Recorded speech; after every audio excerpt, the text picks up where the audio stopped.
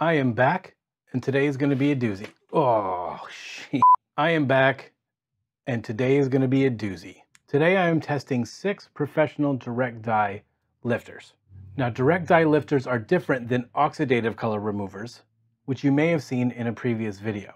Oxidative color removers are for removing permanent and demi-permanent color, colors that are mixed with developer in order to be effective.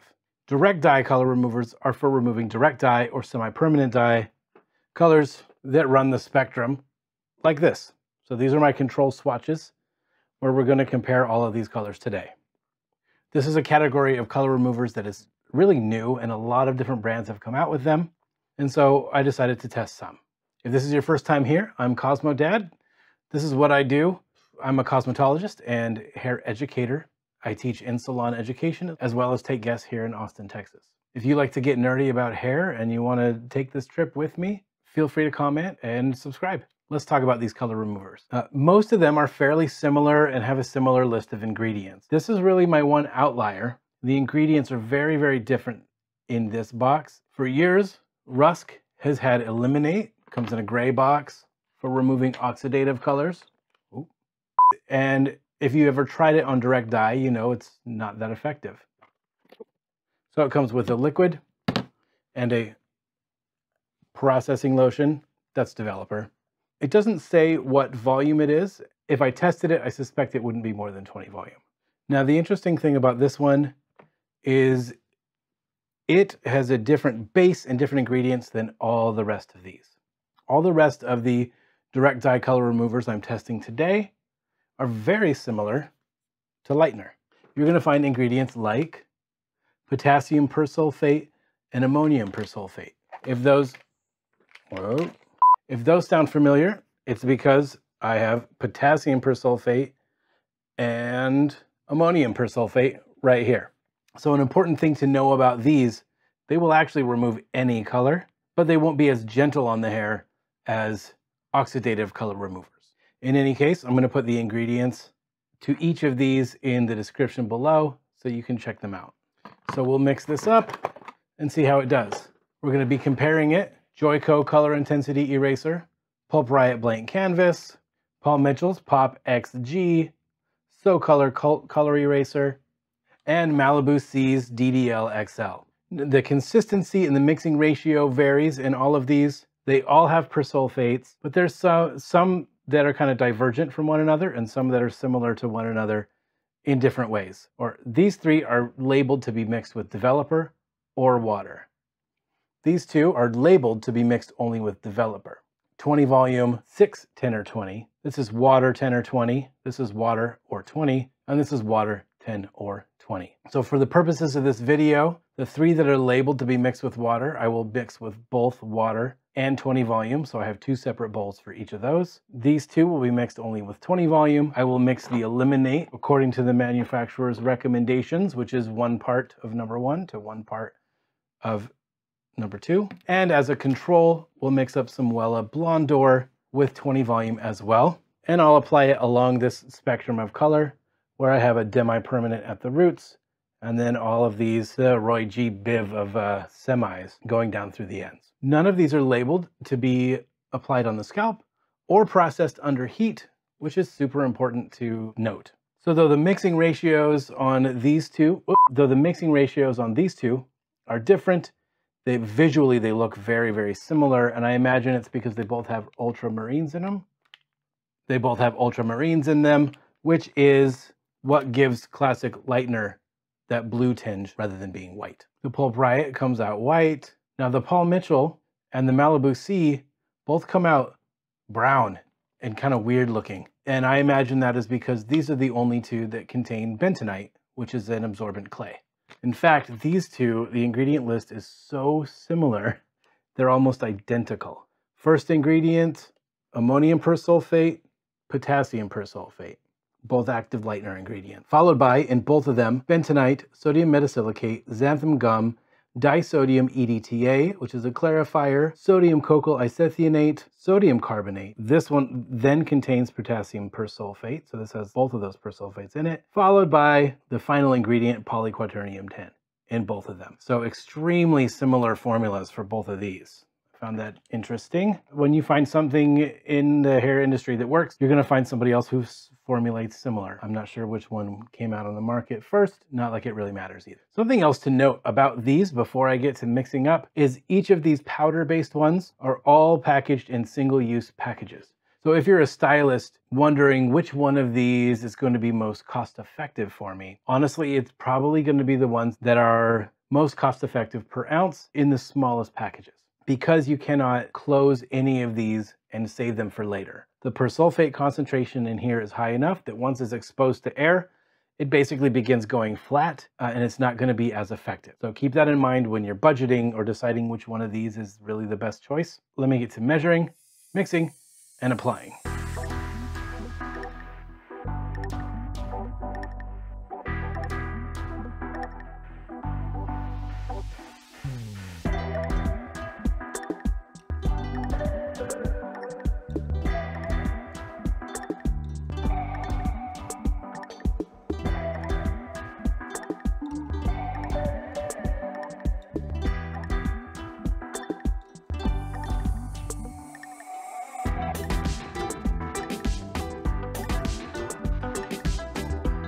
That Joico one has a particularly strong smell, stronger than your typical lightener. With the exception of the Rusk, which isn't a persulfate.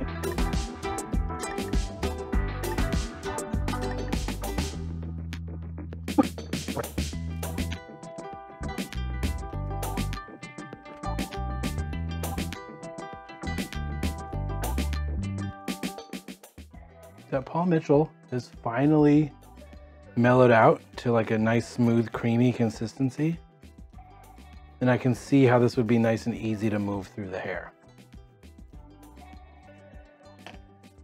Though the version mixed with water, according to ratio, is a bit on the thin side. So far, the strongest smelling ones are probably going to be the Joico and the SoColor Cult Color Eraser. I wonder if the strong smell has anything to do with the ultramarines. Huh, I don't know. Whoa, the DDL XL got real puffy. Oh my gosh, I wish I could have. It's like real marshmallowy. Paul Mitchell one's still creamy. DDL is fluffy. And that Rusk is like a, um, like a, a gel consistency. It has been five and a half minutes since I started applying just with the traditional bleach, made my way down the line. So as we look from this side to this side, this side's only had about a minute to process. Let's take a nice good look at that. Blondor's looking good. Joico's looking good. The Pulp Riot is looking good. The Rusk doesn't look like a whole lot's happening, but then when you start scraping it, it looks like a bunch of the pigment's coming off. So this is the color eraser and the Malibu with their 20 volumes. And you can see how much faster and more efficiently than the water that's working. Something to keep in mind though, if you can get away with water, why not use water? Because you're removing color, each of these, unknown on the Rusk, each of the rest of these will lift natural pigment as well. You know that they are some form of lightener. We've got to be careful and lift as slow as we possibly can whenever possible. I'm going to continue timing and we'll be back with the results. Are you ready for the big reveal? Which one of these color removers reigns supreme? Quick review. Of all of these color removers, the Rusk Elimin8 is the only one without persulfates.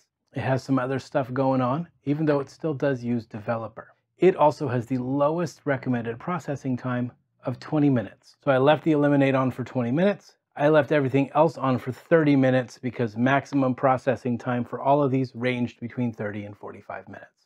So 20 minutes for the Rusk, 30 for everything else, including the lightener. Check it out.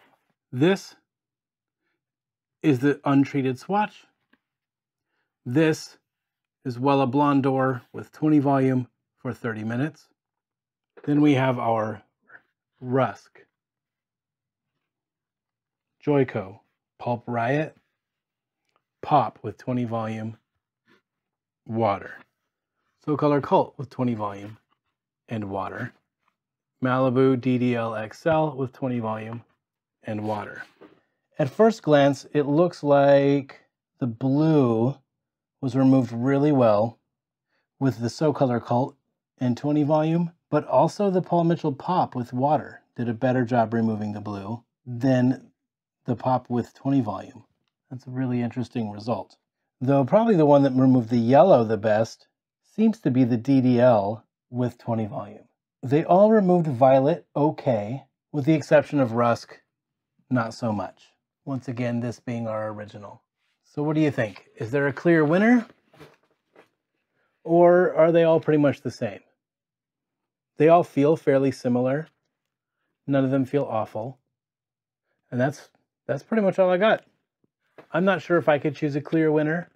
I think the pop and the SoColor Cult overall performed really similarly, and the DDL removed yellow the best.